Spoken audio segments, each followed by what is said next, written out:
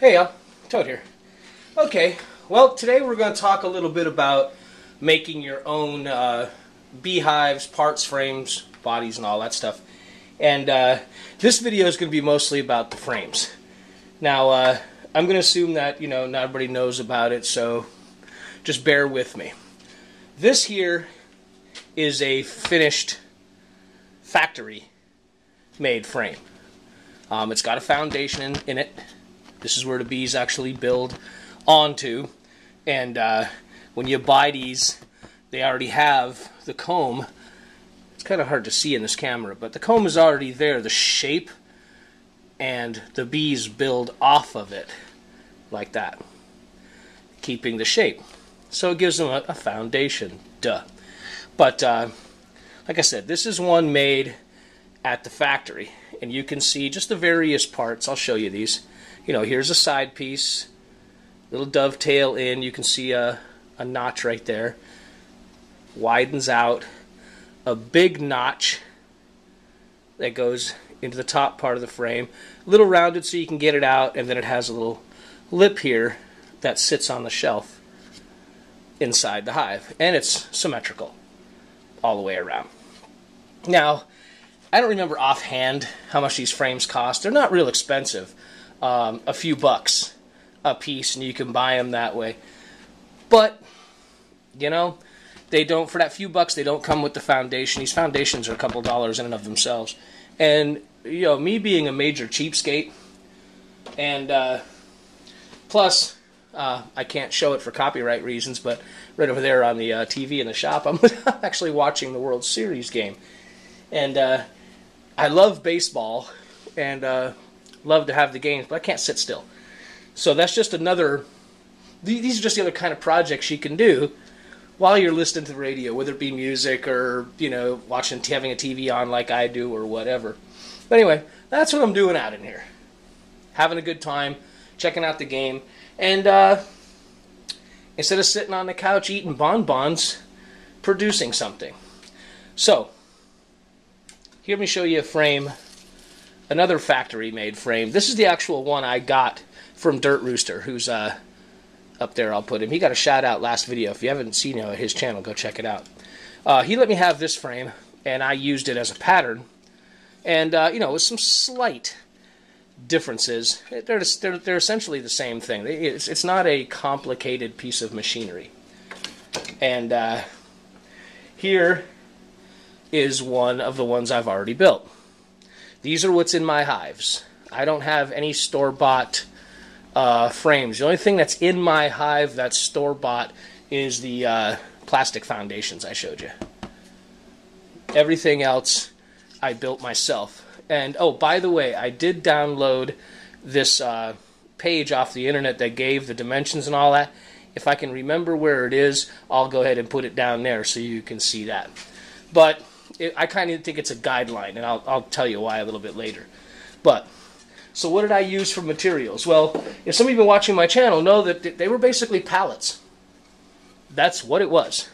These are the uh, 2x4s that are cut out of the center of pallets, and they're longer than any of the pieces that we have to cut to make our frames. So while these short 2x4s, you know, may not have a lot of use to some people, for, for this, they're perfect. Now the other part is of course the part that forms the top and the bottom of the pallets. Now this is where you have sometimes have to deviate from the plan a little bit, and if you're careful, you'll be all right. Um, I made a mistake with my first hive that I'll try and correct with this one. Is that you know most of the plans call for these pieces of wood to be three quarters of an inch thick. Um, these pallet ones usually aren't, or if they are, they just barely are before you plane them down or, or get them all nice and smooth and whatnot. So these going down to 5 eighths is pretty common. But uh, again, what does it cost? Um, it takes about, it takes me about 10 minutes at the most to go from a pallet to usable wood that's ready to use. So, over the course of the next two or three videos, I'll show this stuff off and let you know what's going on. But uh, what I got done so far yeah, game five, so you can tell I've been dorking around with this for a while. This is going to be, these here are going to be the tops. Of course, there's still steps left to be done. These down here are going to be the sides.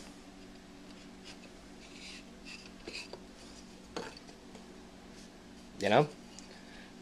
And these are going to be the bottom rails. All of these were cut out eh, out of pieces of wood, not only 2 by 4s but just other scraps I had hanging around. As long as you get the right dimension and length, and the longest pieces are like 19, 19 and a half inches, something like that. So you can use some pretty small pieces of wood. Now, that's pretty much what this video is about, is, you know, people on construction sites throw away pieces of wood like this. 2 by 4s 2 by 6s 2 by 12s They throw this stuff away all the time. You keep your eyes open and uh, maybe an open spot in a trunk or your back of your truck, whatever you drive, you can collect an amazing amount of wood. And you look at this 2 by 4 and you look at this pile, we'll just use the bottom pieces for a second. You can tell it doesn't take that many to go ahead and complete enough. Now you ask how how what's what's here? This is enough for a full three body beehive. Um, if you've watched my other videos, you'll see I have two bodies on mine. This, what you see right in front of you, is when you add the foundations, enough to do three full bodies, and that's of the uh, the nine inch ones. If they were the six, the only difference will be the lengths of the sides. So, you know, I've been asked about this, and I'm going to try and do my best to take you through that. I'm not going to make these real videos real long.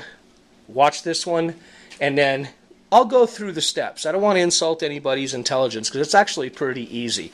At this point in time, all I have used is a table saw and a chop saw to make all of these pieces. Now I will find that plan and put it down there because uh, me personally I hate videos of you know turning the saw on, turning the saw off, blah blah blah. I'll try and keep that to a minimum. I'm gonna in the next video I'll show what's needed to turn to, to do the next step. To me that's where it starts getting interesting. Alright? So hey, thanks for coming along. This will probably be a I don't know, three or four part series. By the time I get done, you'll at least have an idea of how you can make your own. And as you can hear, the cat, what? Oh, well, I'm doing something here. Can't you see? Anyway, as you can tell, the uh, Her Majesty has decided she wants something. So I'm going to take off, and we'll see y'all in the next video. Thanks for stopping by. Take it easy.